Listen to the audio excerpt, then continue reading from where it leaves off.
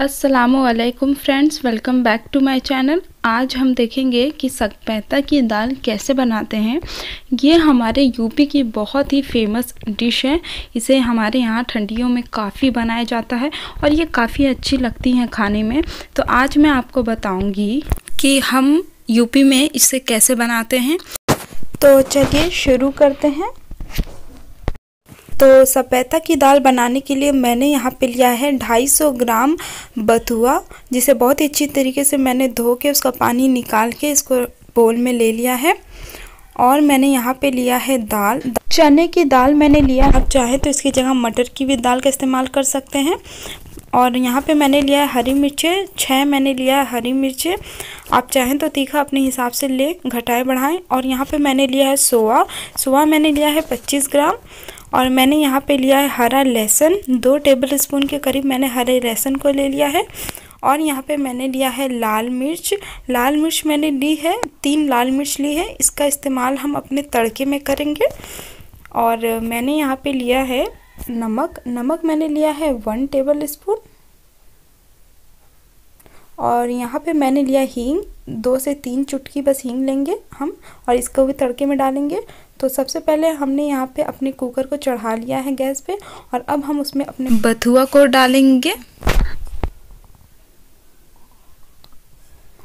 और अब हम इसमें डालेंगे अपनी दाल को।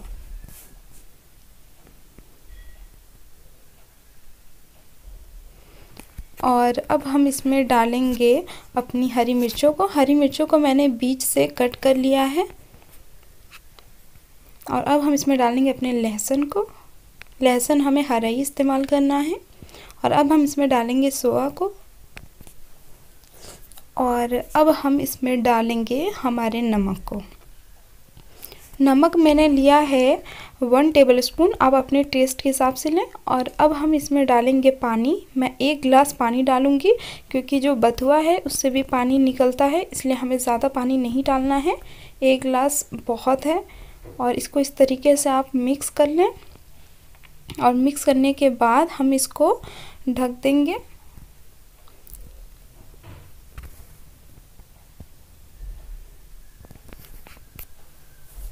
और अब मैं इसको ढक दूँगी। हमें इसको हाई फ्लेम पे रखना है और एक सीटी जब आ जाए, उसके बाद हमें मीडियम कर देना है फ्लेम तो मैं इसको पहले हाई फ्लेम पे रखूँगी।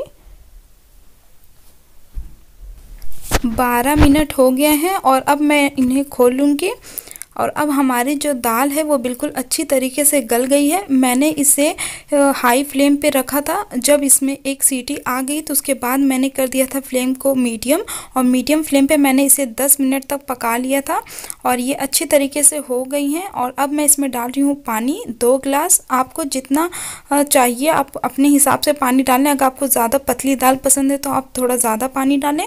और अगर नहीं पसंद है ज़्यादा पतली तो जितना मैं डाल रही हूँ आप उतना ही डालें। ये बिल्कुल परफेक्ट है। और इसमें जब बॉयल आएगा, देखिए आप देख सकते हैं, अब इसमें बॉयल आ गया है तो उबाल आ गया है तो यानी कि हमारी दाल जो है, वो अच्छी तरीके से हो गई हैं। तो अब हम चलते हैं अपने तड़के की तरफ़। हमें इसके लिए तड़का तैयार करना है।